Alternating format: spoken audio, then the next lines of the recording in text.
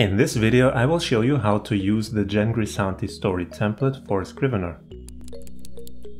Hi everyone, it's Bela from the Writer's Territory and in this video I'll show you the Jen Grisanti story template for Scrivener. If you haven't done so already, go to my website to download it, the link is down below in the description. And once you have the file, you will see that it is a zipped file, so you just have to double click it to unpack it, and then you get this Scrivener template file.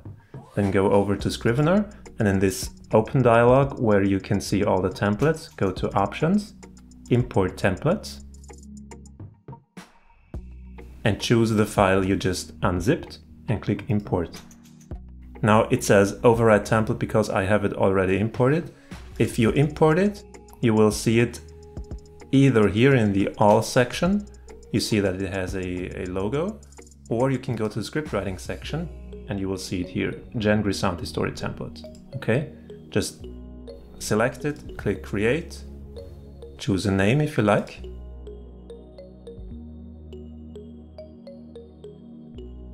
When it opens up, it shows you this how to use this template page.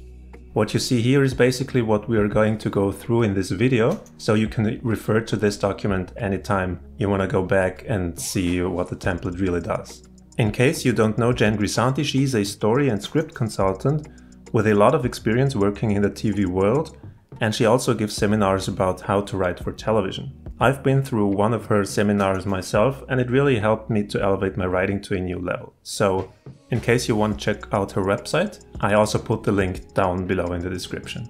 Some things in this template will make more sense to you once you've gone through her courses and know her development system, but anyway, let's just see what this template does. Here on the left in the binder, you have two general documents that I like to put into my templates. It's a notes document and a master idea list. You can also refer to those documents here in the bookmarks. Then you have your development documents. Let's go through all of these. This is for your series logline. And also if you take a look at the notes section, it gives you a short reminder of what this document is about. Now this is for the series logline. Then you have one document for the pilot logline, for your internal logline, for the external go of your A story, for your internal story, for your external and internal stakes arc, and for your B story arc. Then if you take a look at the draft folder, here we have what I call ACT documents. Those are the teaser and ACT 1 through 5. And they are indicated by this little waypoint flag. And in these ACT documents, you can basically put what you like in terms of notes. It can be an outline, it can be some form of a treatment, anything that you think is important for you to develop this part of the story, this act. Okay. And also in the notes section, you, again, you have a reminder of what should happen in each one of those acts. Also, if you take a look at the synopsis, here you have a place to put your series trigger and series dilemma, so you can keep track of those as well. So you basically go through these act documents, and in each act in the editor, you put your content, your notes, whatever, and in the synopsis, you put your main story points, act points for this act, and you just go through these. Also in each act document, one level underneath, you have a script document. This script document is where you put your actual script pages, and they will automatically be formatted as screenplay by Scrivener. Then you also have the research folder, a characters folder, a places folder, and a front matter folder. This front matter folder holds several title pages depending on what you want to export or compile out of the project. We'll take a look at that in a second. And then in the templates folder, you find a template for your acts and for your script files. And also you have a template for your character arc formula that can help you develop your characters. It's good as a best practice if you create new documents to take them from the templates folder because they have already all the settings that you need to compile. Okay, let's take a look at what kind of documents you can export.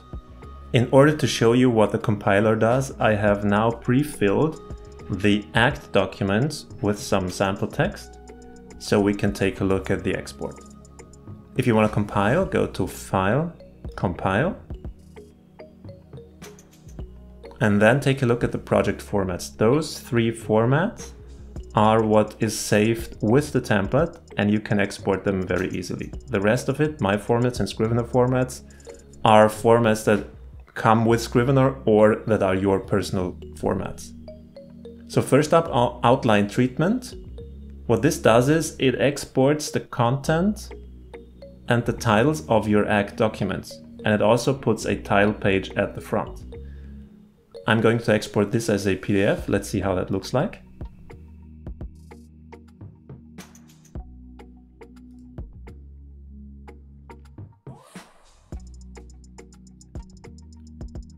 You see it has a title page. You can change everything on the title page in the front matter folder in the document for outline and treatment export. And then it has the title and the content of each ACT document and it puts each of the acts on a separate page.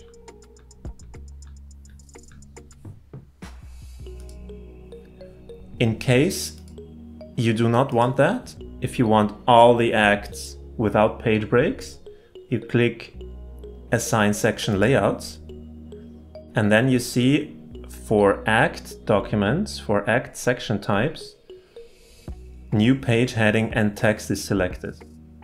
If you don't want a page break, just select this one, text section with heading, click OK. Let's compile again.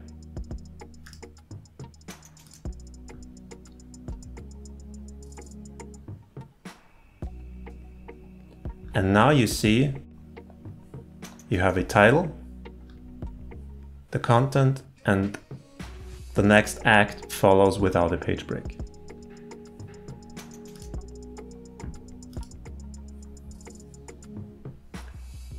Now in order to show you the script export, I have pre-filled those script documents with some sample text, just to show you how that works.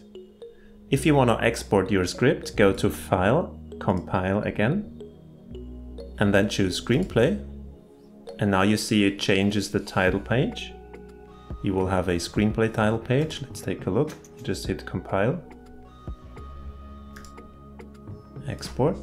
I'm gonna replace in this case.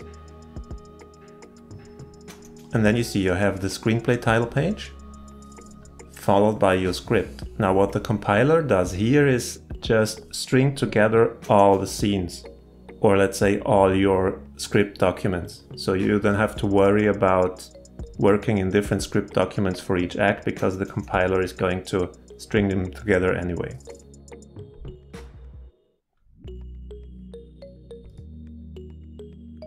Now there is a third document that you can export. Let's have a look, go to the compiler. And now select synopsis. This is going to export all of your synopsis.